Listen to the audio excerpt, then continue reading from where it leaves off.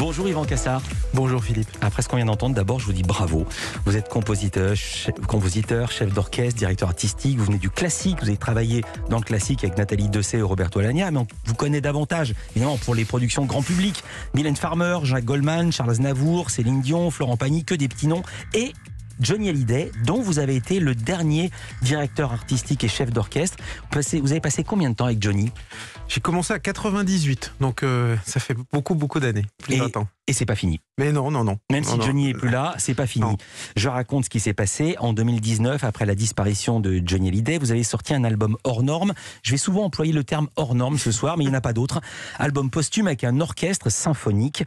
Vous étiez attendu au tournant Résultat, 500 000 exemplaires vendus. Vous avez récidivé avec Johnny Acte 2, dont on vient d'entendre un extrait, qui lui également s'est retrouvé en tête du top album une semaine après sa sortie. Et votre actu, c'est Johnny Symphonic Tour. Ça sera au printemps 2022, mais il faut s'y prendre à l'avance pour les réservations. Tournée de 20 dates hors normes, voilà, je l'ai dit.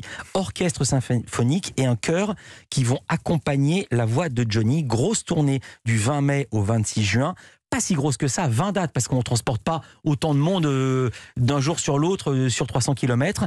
La salle Playel, ce sera à Paris les 8 et 9 juin. J'arrive à ma première question. En gros, ça va être une sorte de version live et magnifiée des deux albums Exactement. C'est reprendre cette histoire magnifique qui a commencé avec le premier album euh, symphonique.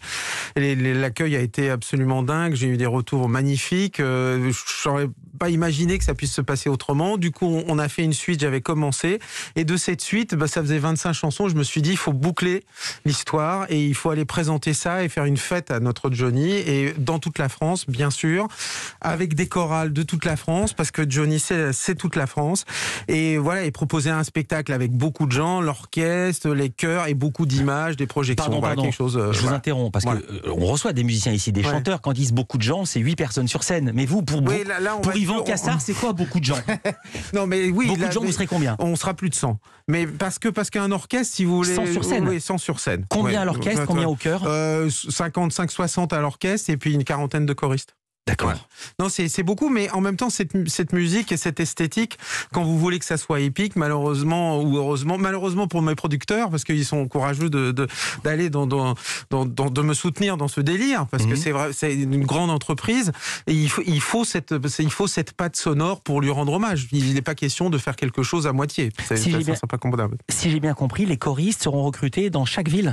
Oui, parce que autant l'orchestre, euh, ça n'aurait pas été possible, et donc je je, vais faire tout un travail avec eux et on va mettre au point euh, ça. Mais je voulais qu'il y ait cette sensation. Ces, ces, concerts, ce sont des grands concerts, mais c'est aussi un hommage, c'est une manière de partager avec les gens.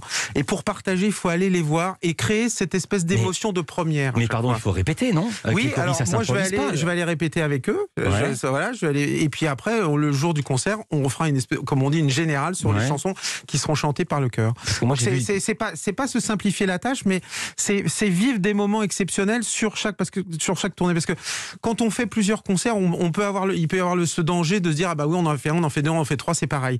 Non là justement à chaque fois ça sera ça sera différent et ça c'est vraiment intéressant. Johnny, on l'entendra? Bien sûr. Est-ce qu'on le verra?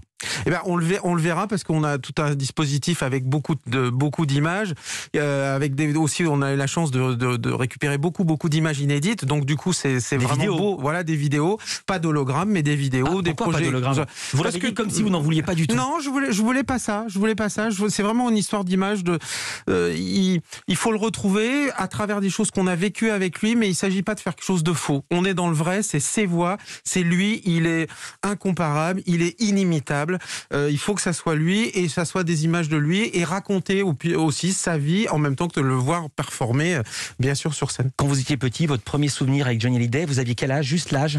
Non, mon, curieusement, mon, premier vrai, vrai souvenir, c'est euh, sur le périphérique quand on m'a appelé pour travailler avec lui pour le Stade de France en 98. Incroyable. Mm. Yvan Cassard, le portrait pré-fame, avant sa propre célébrité. C'est Lisa Marie Marquez qui arrive dans Culture Média. À tout de suite.